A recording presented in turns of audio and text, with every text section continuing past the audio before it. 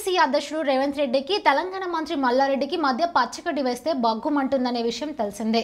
బహిరంగ సభల్లో సైతం ఒకరిపై ఒకరు మీసాలు మెలిస్తూ తొడగొట్టిన ఘటనలు కూడా ఉన్నాయి. తాజాగా రేవంత్ను ఉద్దేశించి మల్లారెడ్డి ఆసక్తికర వ్యాఖ్యలు చేశారు.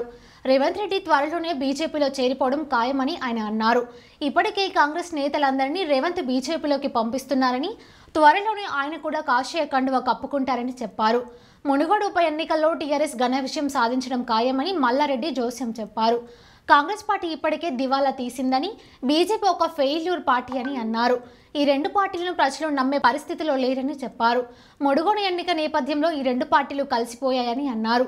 మునుగోడులో అమిత్ షా సభ వరంగల్లో జేపీ నడ్డా సభ ఫ్లాప్ అయ్యాయని చెప్పారు.